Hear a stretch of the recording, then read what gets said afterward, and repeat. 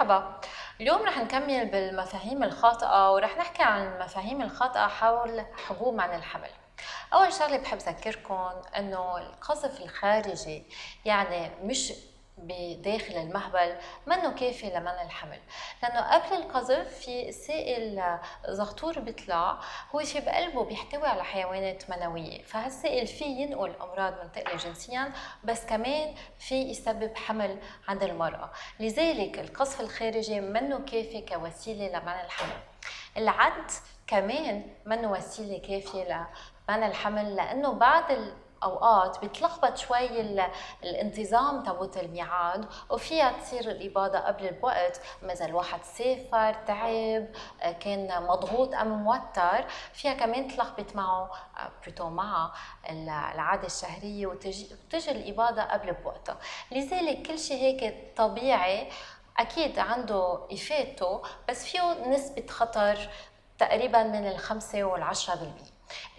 الواقي الذكري اللي حكينا عنه كمان بيحمي إنما في احتمال صغير إنه ينخزق. donc بيحمي كمان فيه نسبة خطر بين ال 2 وال 5% مع استعمال الواقي الذكري.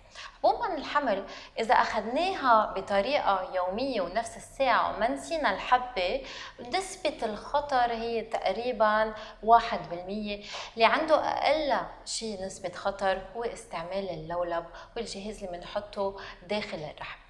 خلينا نحكي شوي عن الأفكار الخاطئة. اولا الحبوب الحمل منا مضرة للصحة بمعنى إنه هي فيها تكون مفيدة للصحة. فيها تخفف الحبوب الوجه فيها تخفف الشعر اللي بالوجه فيها شوية تنسق الدورة الشهرية عند المرأة فيها تخفف الأوجاع أثناء الدورة الشهرية عند المرأة وفيها كمان تكون علاج للاندوميتريوسس وحتى تستعمل كعلاج بس يكون في أكياس بالمبيض لذلك حبوب الحمل منا مضرة بالصحة.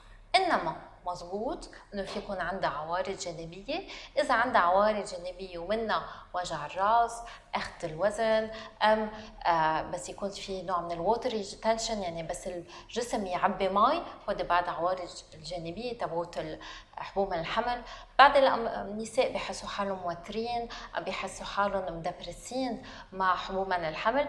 بيطلبوا من طبيبهم أنه يستبدل الحبوب بغير حبوب ما رح تعمل هول العوارض الجانبيه، لذلك لازم نتذكر إذا في عوارض جانبيه لازم نستشير الطبيب ونقول له كمان يستبدل حبوب من الحمل ويعطينا حبوب من دون عوارض جانبيه.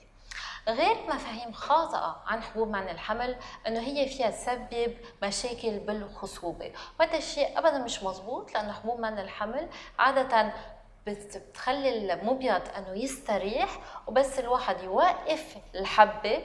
رح يرجع يصير في حركة بالمبيض ورح يرجع بترجع خصوبته مثل ما كانت قبل. والحبوب من الحمل فيها تحمي من سرطان المبيض.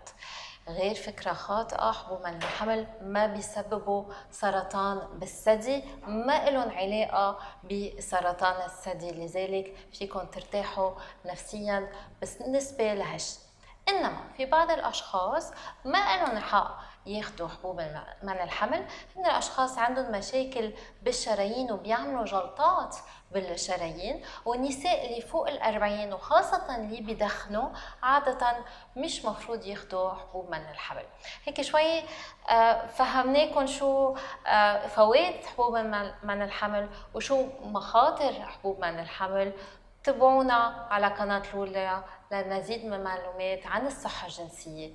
باي باي